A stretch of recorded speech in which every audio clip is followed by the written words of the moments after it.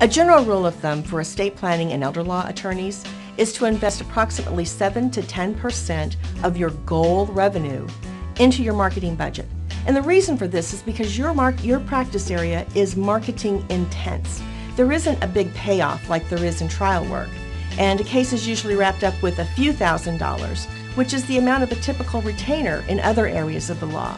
Now, you're only as good as your current appointment book.